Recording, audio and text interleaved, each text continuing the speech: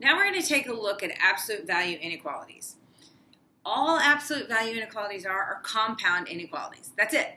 So remember when we were solving absolute value equations, we had to do something special.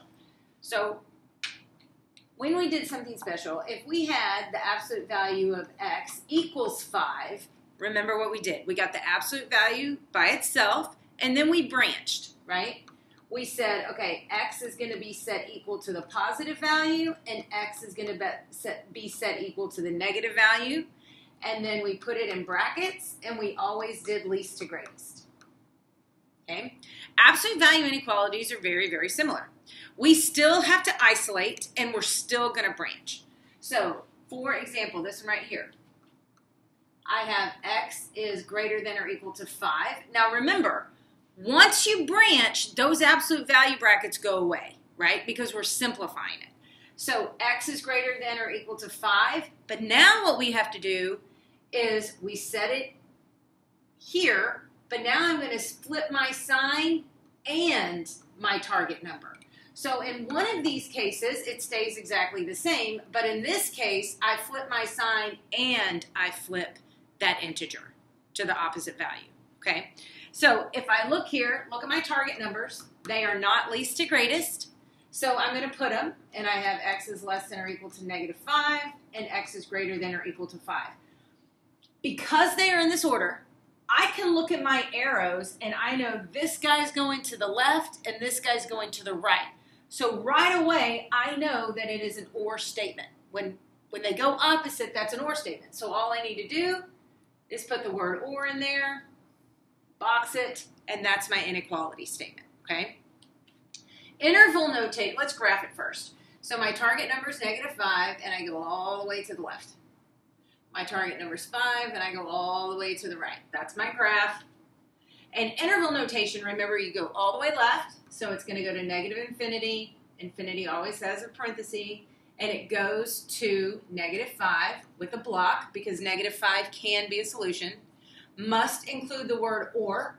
I pick back up again at 5 and I go all the way to infinity with a parenthesis around it. Okay, that's case 1. Let's look at case 2. Case 2, so absolute value, I set x is less than or equal to 8 and this one I have x is greater than or equal to negative 8. So remember, you flip your sign and your number. Now, these are not, my target numbers are not lined up least to greatest, so I'm going to do that. And I get x is greater than or equal to negative 8, x is less than or equal to 8. Now, just looking at this, notice my arrows point in. So that tells me if my arrows point in, that's an and statement. I do not write an and statement like that. But I know because they're lined up that that's what's going to happen. My arrows point in. So I'm going to have to rewrite that and statement, but I like to graph it first. So let's graph it. And close circle on negative 8, close circle on 8. I already see that they're going together, so I'm going to move these together.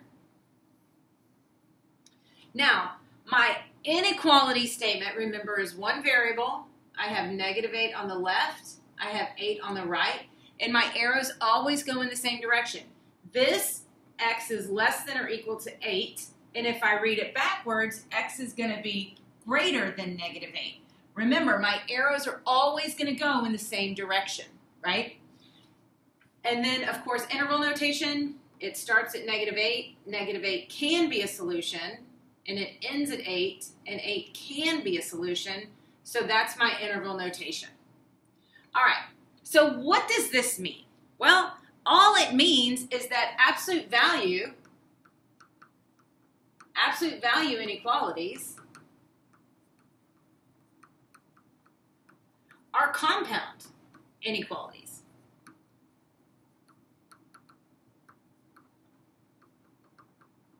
Now, if it is a or statement,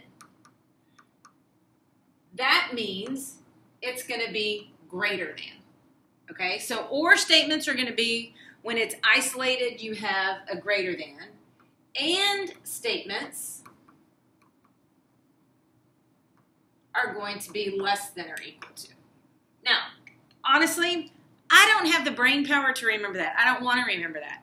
So that's why I always set up my target numbers least to greatest.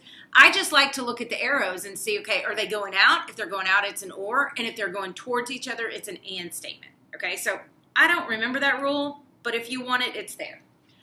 All right, so let's take a look at some examples now that we've talked about it. And the steps to solve are very, very similar to what we've done before, right? Um, step one is we're going to isolate the absolute value expression, which is what we always done with absolute value equalities. And then we're going to create two cases. You can use the KISS method, and all that means is keep it, switch, switch to set up the two cases. So I'll use that as we get, kind of go through. Um, we solve both inequalities and then we graph the solution and write your answer in interval notation. Now, I want answers written in interval notation and inequality notation. Okay, I have to have those two. So let's take a look at that, what that means. So I'm going to keep it, so kiss, keep it, x is less than 7, and then I'm going to keep it, switch, switch, right? Now, look at my target numbers. They are not least to greatest, so I'm going to rearrange them.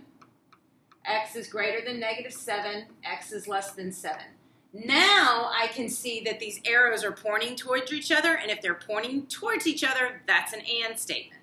So, again, that's not how we write an AND statement, but I'm going to graph it first. So I have open circle on 7, open circle, excuse me, open circle on negative 7. That's not negative 7. Open circle on negative 7, open circle on 7. I know it's an AND statement because they go together.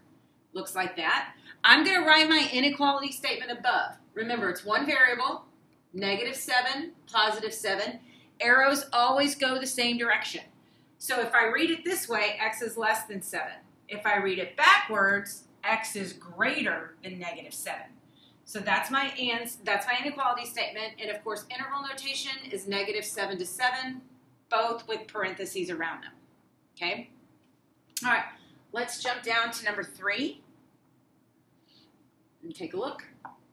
Take a look in blue. All right, so I'm going to keep it. The first one is keep it. x minus 1 is greater than 6. Here I've got to do some algebra, so I'm going to add 1 to both sides. And I get x is greater than 7. Now I'm going to apply the KISS method, method, which is keep it, switch, switch. Switch my sign and I switch my number.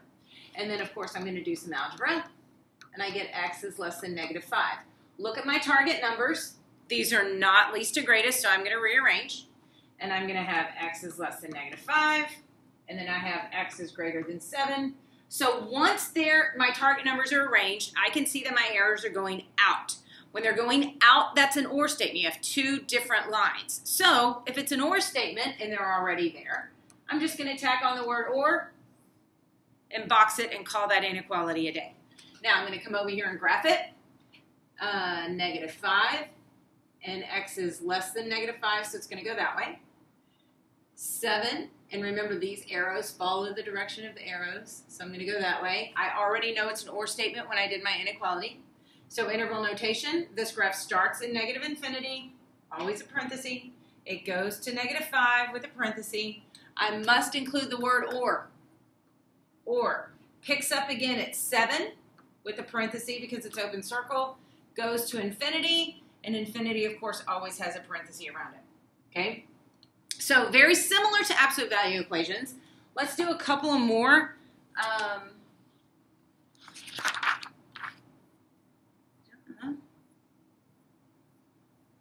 Okay. I don't know why my video is doing that, so I will make another video with some more examples.